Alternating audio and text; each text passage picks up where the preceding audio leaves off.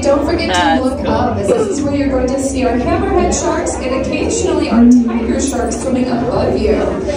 There are five different species of sharks to see in here. Of course, the gray hammerhead is probably the most recognizable.